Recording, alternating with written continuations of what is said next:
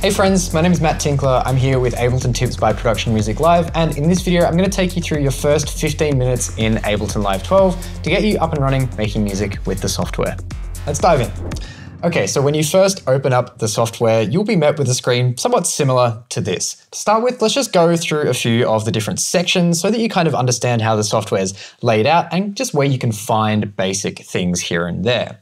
So up the top, we have this section called the control bar, and this is where you can find aspects or controls that allow you to change certain things about how your session, which is kind of like your document of Ableton Live, uh, behaves. So this is where you can find things like up the top, we have the speed of play playback of our session, otherwise known as our beats per minute or tempo. We have the scale or key of certain clips within our session. We have transport controls like play, stop, record, and other stuff in here. We have looping controls, and we also have some controls over on the right that allow us to do things like uh, monitor how well our computer is behaving with our session by seeing things like computer processing usage and so on and so forth. Then on the left, we have a section called the browser. And this browser allows us to effectively browse through sounds, effects, devices, instruments, samples. If you, for whatever reason you would like to hide the browser, you can always do so by going up to the top left and clicking on this kind of divided rectangle up here. Next, let's go ahead and take a look at the main section of Ableton Live, which is this middle section, which is currently showing a view known as the session view, which is where we can see all of these different tracks here, which are effectively like layers of sound within our session, shown vertically from top to bottom. And this session view here is also switchable to another view, which is called the arrangement view. And we can switch to the arrangement view in one of two different ways. We can go up to the top right of our window and click on these three horizontal lines, or we can press the tab key on our computer keyboard. Let's go ahead and just take a little bit of a look at navigating around the arrangement view first of all. First, as you would have noticed there, I can just click and drag to select an area within the arrangement view across any of these different tracks that we have loaded up in our session. We can also zoom in or out in a few different ways. The most easy and simple way is to move your cursor up to the top above where we have these little numbers until it turns into this magnifying glass icon. And then we can just click and drag up or down to zoom in and out and left and right to scroll side to side. You can also do so by holding down the command or control key on your keyboard and scrolling up or down. We can zoom in or out. And we can scroll side to side by holding down shift and scrolling up or down with our keyboard. And we can also, if you have a middle mouse click button on your, uh, on your mouse, you can hold down the middle mouse click and click or drag left and right or up and down to move around your session that way. And this only works in Ableton Live 12. So now that we kind of understand how to navigate around the arrangement view a little bit, let's keep going with the rest of how the software is laid out with this bottom section down here. So this main section in the bottom is known as the device view. And this is where we can see any devices such as instruments or audio effects that we have loaded up onto any of the tracks that we have selected in either our arrangement or our session view.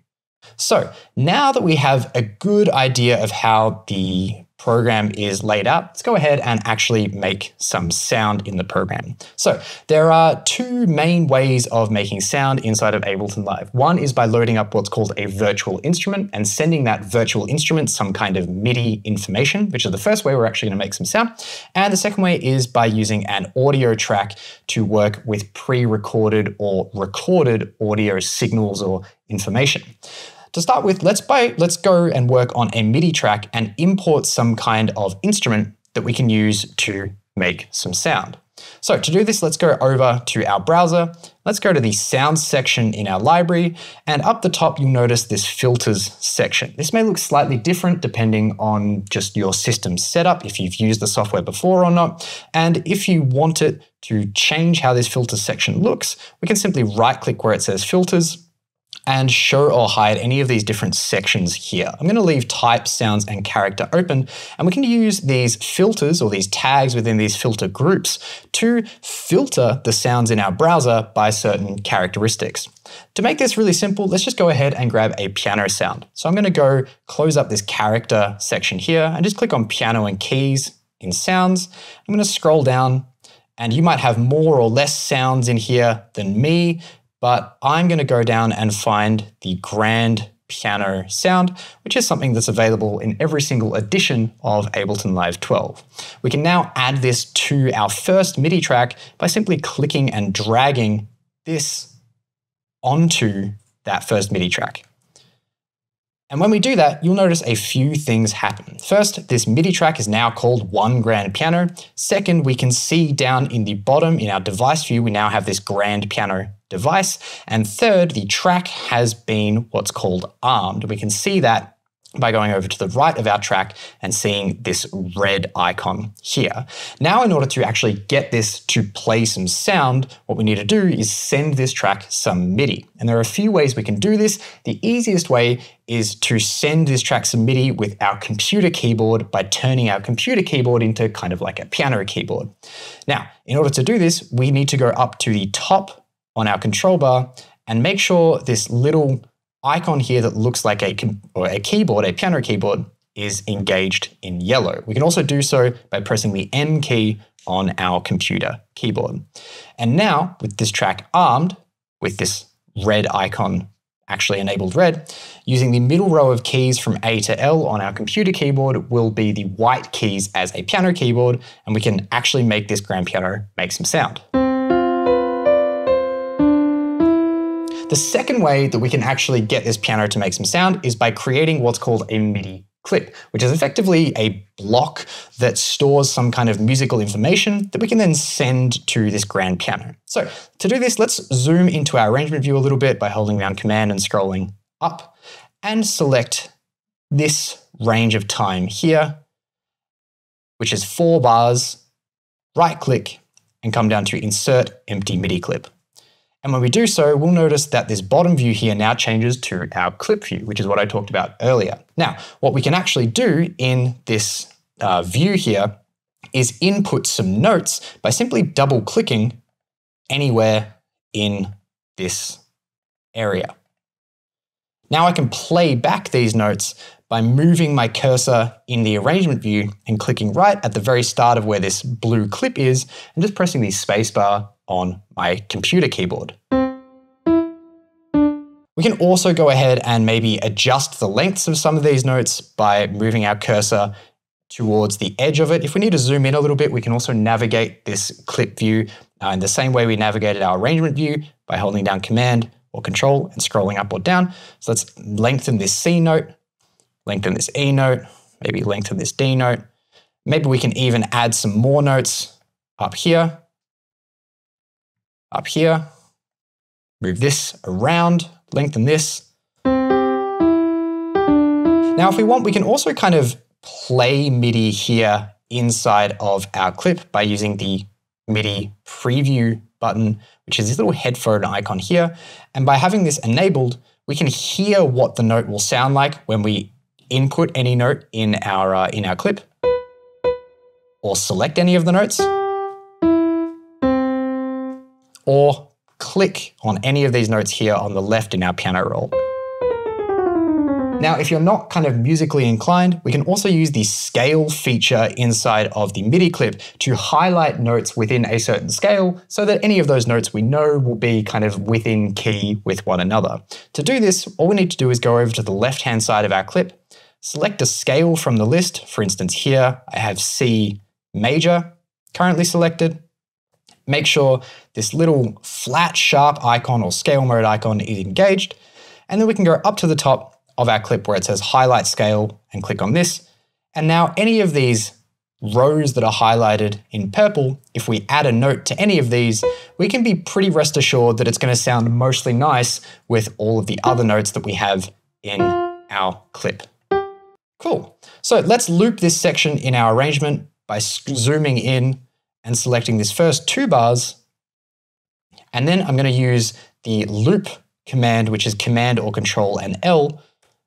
And now you'll see this loop brace in our arrangement view covers this two bars, which means that when my playhead gets to the end of this loop brace, it'll jump straight back to the start.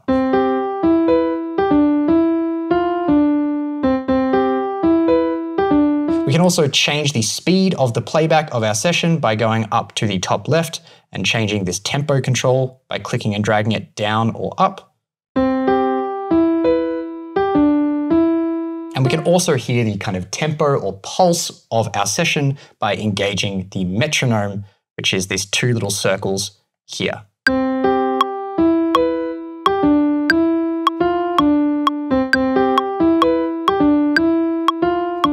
So let's go ahead and explore another aspect of creating sound in the software, which is audio effects. I'm going to go ahead and press Shift and Tab and now add an audio effect to this track here by going over to my audio effects category in my library.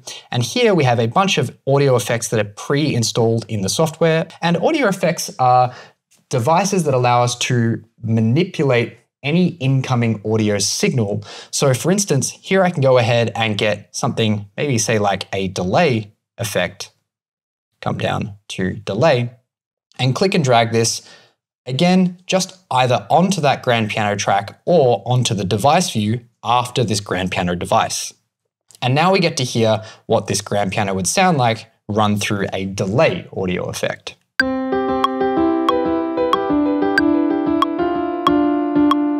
And let's go ahead and maybe add a reverb after this delay as well. So let's scroll around, find reverb, click and drag that, and I'm going to click and drag this after the delay. So we have this grand piano making the sound, the delay processing the sound, and then the reverb processing the sound.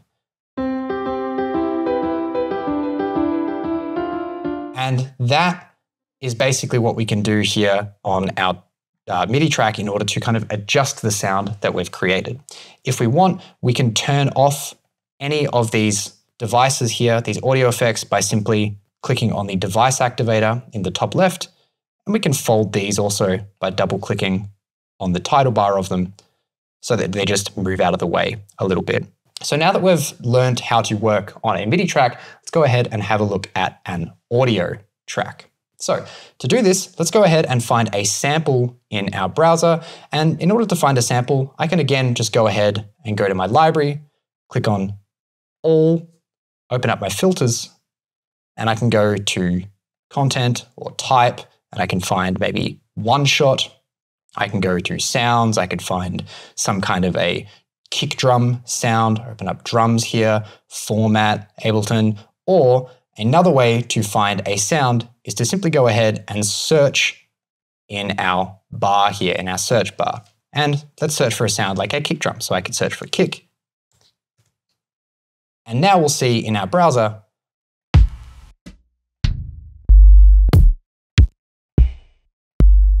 a bunch of samples, which are audio files that we can preview and then drag onto an audio track in our session. For instance, I might go ahead and grab this Kick 909, and I can just click and drag this onto an audio track in our session, zoom in, and we can see this audio file here on the audio track. Now with this audio file or this audio clip on our audio track, we can do a few things. I can click and drag it move it around. I can shorten the length of it by moving my cursor to the right hand side, pulling it in a little bit. I could duplicate it by holding down the Alt or Option key on my keyboard and clicking and dragging. Or I could copy it by selecting it, pressing Command and C, and then paste it anywhere by selecting that area, pressing Command or Control and V to paste it. Or I can duplicate a whole area by selecting that whole area and either pressing Command or Control and D to duplicate that selected area. And now I have this kick drum on every single beat of this first two bars of my arrangement view here. Now that we have two tracks here, we can also go ahead and balance these two tracks and change their levels by going over to the right hand side and adjusting the track volume control, which is this slider underneath the number of the track here so I could turn down the grand piano, maybe turn down this kick drum. Now we have changed the sonic balance of these sounds. Lastly, let's take a little bit of a look at just organizing our session a little bit. So I'm not using these two tracks here, this MIDI track and this audio track. So I can select these two just by clicking it and pressing the delete key on my keyboard, I can delete this track. Let's do that with the second audio track here too. And so now we're just left with our grand piano and our kick drum track. If I want to, I can rename this grand piano track by right clicking on it and selecting rename. And I can call this grand, or I can just call this piano, maybe. I can also reorder these two tracks so I could have the kick be first and the piano be second. And maybe we could color this kick drum, say red instead of green. And I could actually transfer this red color here to the clips on this track by right clicking on the kick track and selecting assign track color to clips. Now, of course, there's a whole lot more that we can do with the software, but we can also go ahead and say maybe add audio effects to this kick, or maybe add even some more sounds or more loops and all that as well. Maybe add some more instruments into our session. But now that you know the basics, you should hopefully feel confident enough to jump into the software and start playing around with and making your own music. Feel free to ask any questions in the comments below and check out a link in the description for a full course on Ableton Live 12 from start to finish so that you can learn the software inside and out. Thank you so much for watching. I hope you enjoyed and I hope you learned something and I'll see you in a future video.